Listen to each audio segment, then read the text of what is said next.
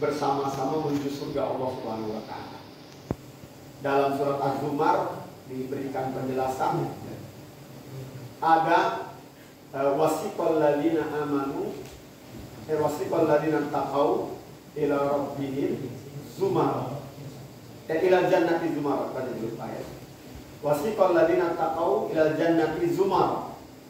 Nah, digiringlah orang-orang yang bertakwa berombong-rombong ke surga Allah Subhanahu satu rombongan kemudian wasiqal ladina kafaru ila jahannam zumar kelompok yang kedua bergelombang bergelombang-gelombang berombong-rombong dikirim ke.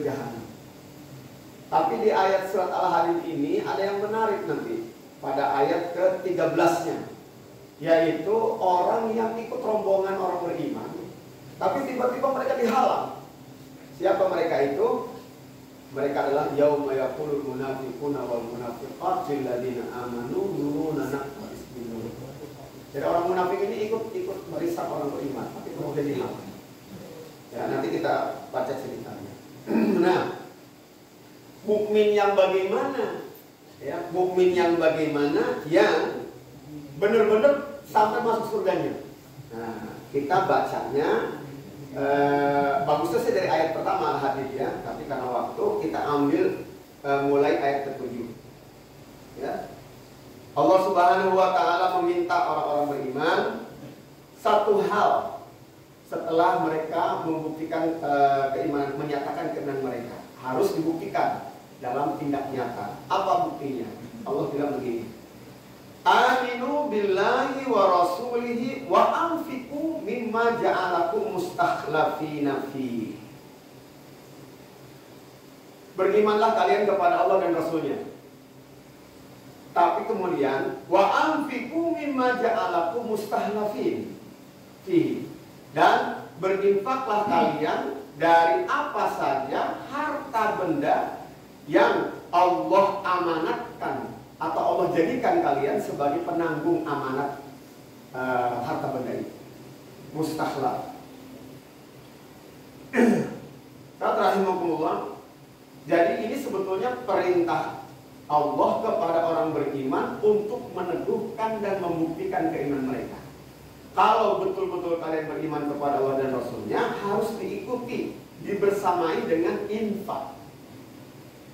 Ya, jadi ini fokus kita uh, pagi ini mengevaluasi diri kita masing-masing sudah seberapa benar dan besar infak kita. Ya, kenapa harus benar? Kenapa punya penilaian besar? Nah, ini kita akan bahas. Bagaimana infak yang benar? Allah menginformasikan di sini. Wa anfiqu mimma ja'alakum mustakhlafina fi. Persepsi kita tentang harta kita. Harta kita, peci, baju, gitu kan, uh, handphone ini uh, harta kita.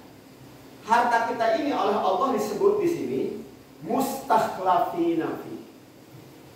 Mustakhlaf. Ya. Syekh Nawawi memberikan tafsir begini. Minal amwalil lati fi aidikum allati ja'alakum bimanzilatil wukala'i fiha tahfazunaha liman yaktuna ba'dakum. Fala yang bagi lakumul bukhlu biha. Faswabu an tusrifuha fil wujuhil lati tanfa'ukum fil ma'ad. Para jemaah rahimahullah di, di surat Al-Baqarah yang ayat awal ayat-ayat awal Allah menginformasikan tentang infak wa mimma razaqnahum yunfikun wa mimma razaqnahum yunfikun dan mereka menginfakkan apa yang kami rizkikan kepada mereka.